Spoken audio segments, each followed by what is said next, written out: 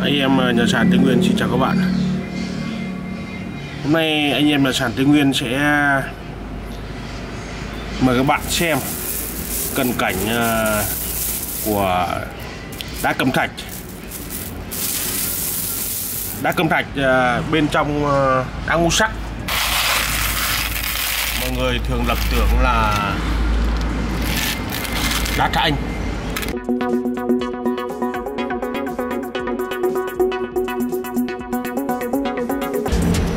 đây thực chất là đá cẩm thạch. Đá cẩm thạch được ờ, thay thế cho đá thanh trong ờ, phong thủy. Trong các loại đá thanh ờ, thì đá thanh xanh, đa số là đá xử lý và không có đá thanh xanh. Rất hiếm. Đá cẩm thạch cũng có tác dụng phong thủy. Mọi người thường dùng ờ, đá cẩm thạch để trộn với các loại đá khác tạo thành ờ, đá ngũ sắc hay là đá bảy màu, như thế này.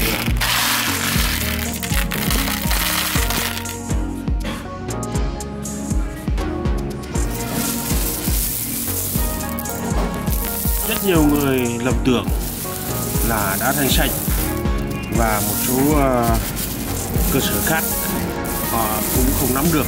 Các bạn không nắm được. Nhưng bảo các bạn là đá thanh xanh, nhưng mà rất tiếc, đây là không phải đá thanh xanh, mà gọi là đá cẩm thạch rất nhiều cái lầm tượng đây là đá tự nhiên.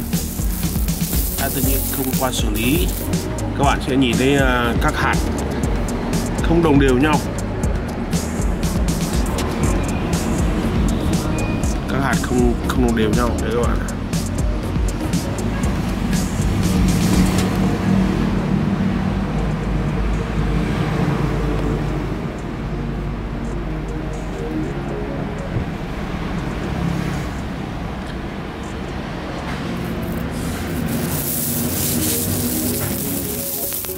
để ờ, biết rằng đá thật đá giả. Các bạn ờ, cứ trải nghiệm. Đã thành ờ, các loại đá tự nhiên của Việt Nam mình. Đây là đá cẩm thạch.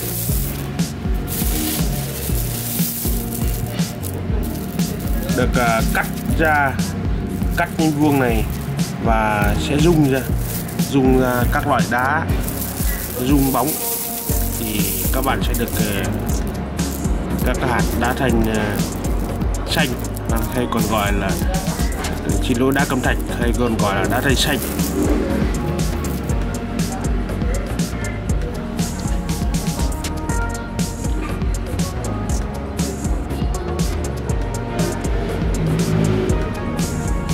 Em hôm nay mời các bạn xem cận cảnh